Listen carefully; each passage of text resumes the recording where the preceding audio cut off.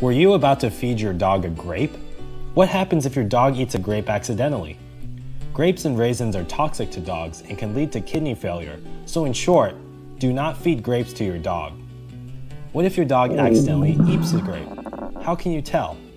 The first symptoms of grape toxicity are vomiting and diarrhea and weakness.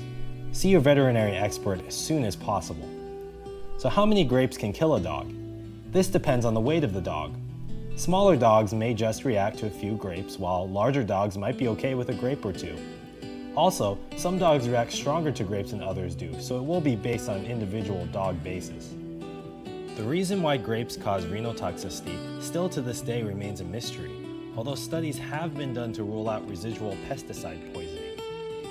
If your dog has eaten a grape, please contact your veterinary expert as soon as possible. Thanks for watching. We hope you found